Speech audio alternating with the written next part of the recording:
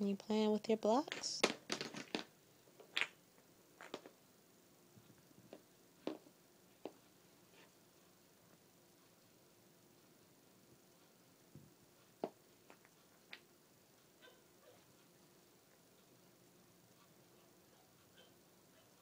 You're going to stack them together like this.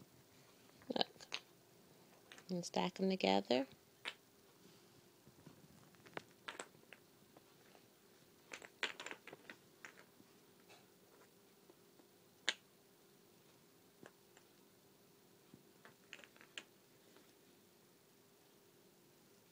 You pick the block up and stack it together like that.